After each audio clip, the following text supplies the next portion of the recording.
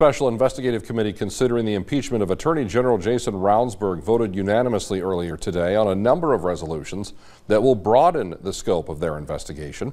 Austin Goss has been following this story and has an update for us tonight from the state capitol. After spending upward of 15 hours in executive session over the course of Tuesday and Wednesday, the Special Investigative Committee on Impeachment committed to making future meetings public. While the entire country, including South Dakota, has seen actually a slight uptick in the numbers compared to the past few years, DPS officials believe there are reasons for optimism heading in to the new year. Our Austin Goss sat down with Secretary Craig Price today. He has more on that. According to the Department of Public Safety, traffic accidents have been trending downward in the second half of 2021. They're hoping to build that success out into 2022.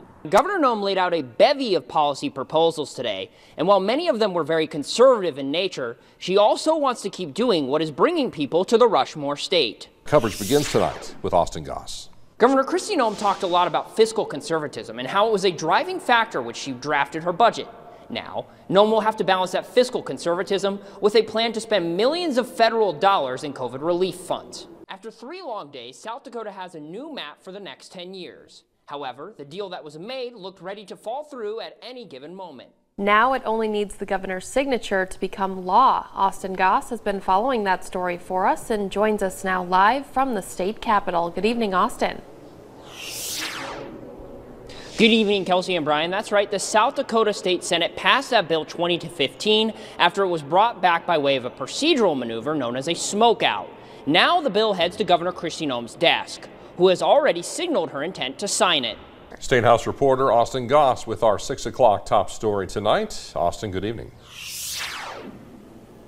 Good evening, Brian and Andrea. Sherry Bren told lawmakers today that Peter's path to certification was not normal. She also told them that she was forced out of her job last December, just five months after that fateful meeting at the governor's mansion. From cities the size of Sioux Falls to Spearfish, the crunch is on. It, it, doesn't matter if you go to our smallest community or our largest community. Everybody's got a, a workforce issue, and part of that workforce issue is a, a, lack of housing. And that's housing of all sizes, all shapes, all different price points. It's for that reason the South Dakota legislature is taking the summer to study the availability of housing in the state. Currently, there are no transgender athletes competing in the state which is the reason that the South Dakota High School Activities Association testified against the bill. However, in an impassioned speech on the floor, Senator Maggie Sutton said now was the time to act to prevent potential future discrepancies. Governor Kristi Noem is expressing concern about the influx of refugees set to make their way to the U.S. and potentially here in South Dakota. She expressed those concerns to our Austin Goss, who has more. With the collapse of the Afghani government, many refugees will be making their way to America. However, Governor Kristi Noem isn't sure she'll be okay with accepting them. Well, we've evaluated this in the past, and the decision to accept refugees was based on how thoroughly they were vetted before they came to our state. Several governors across the United States, many of them Republican, have already committed to accepting Afghan refugees fleeing the country. In his announcement, Haugaard explained why he was running, while simultaneously pointing out what he sees as flaws in Governor Kristi Noem's leadership. Governor Kristi Noem and conservative lawmakers are at odds over vaccine mandate bans. Because if we mandate one thing, are we setting a precedent for government telling businesses what they have to do far into the future? Republican State House members Jon Hansen and Scott Odenbach have drafted legislation that would effectively ban vaccine mandates under any and all circumstances. At this point, Noem has only banned them as a condition of employment in state and local government. As for those who don't want the shot, but work for private employers requiring vaccines, she says other employment opportunities are available. These riders have been on horseback since May 25th, riding from Santee, Nebraska, hoping to draw attention to the issue of missing and murdered indigenous people. The family of Joe Boever was less than pleased with the roughly $4,000 in fines Ravnsborg was called to pay.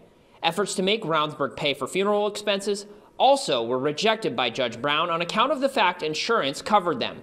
With elections just about a year away, the South Dakota Democratic Party is beginning to make their play for South Dakotans' votes. What does this mean for the Black Hills, but especially for South Dakota as a whole, to have the president here, Mount Rushmore, first fireworks in a very long time, it seems? Mm-hmm. What does that mean for our state? Is there a certain memory or personality trait or thing when you really miss her that you just kind of just pops in your mind, like that one thing?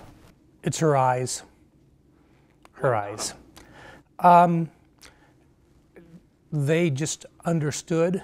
Uh, there was something there that was very sincere, and um, I've thought about that. I think that's what brought her to me in the first place. The special session to consider the impeachment of Jason Ravnsborg is set to begin on November 9th here in Pierre. Ravnsborg paid all of the legal fines and fees that were required of him by the state. Judge John Brown also tried to make it so that Ravnsborg would have to perform a Community Service Act every year for the next five years around the anniversary of Joe Boever's death. However, Ravnsborg's legal team is challenging the legality of that punishment, and that will eventually be decided in written briefs. In the Pierre Newsroom, I'm Austin Goss. The budget summary and the actual budget itself are available online.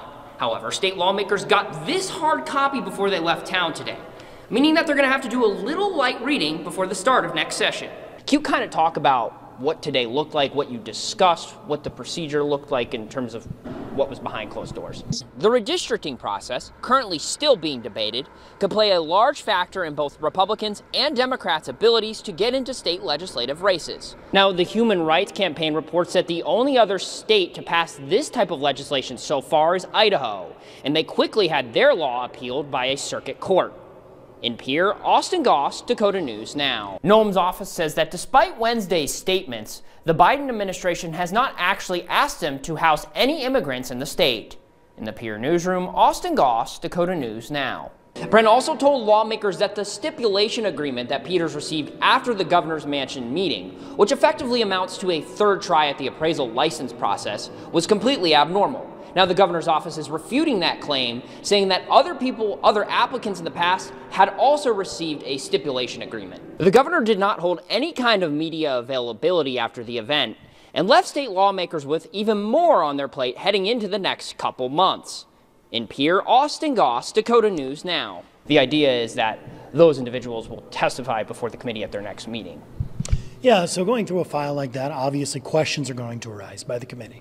And those are the individuals that are primarily involved with putting together the evidence and the report that we saw eh, over the last couple of days. After the event, a group of reporters asked Haugaard how he believed he could challenge a relatively popular incumbent and Governor Kristi Noem. He said that he believes once people learn his vision compared to hers, the perception will continue to change. When political news breaks in Pierre, count on Dakota News Now to have it first. Austin Goss broke this story over the weekend. The only station with a newsroom in Pierre. Austin Goss continues our coverage on this breaking news story tonight. Covering the policy decisions that matter to you. One of the most followed Supreme Court cases in state history happened right here. Providing daily reports from the state capitol. Participants here today came from as far as Sioux Falls and Rapid City. Political news when you want it with Dakota News Now.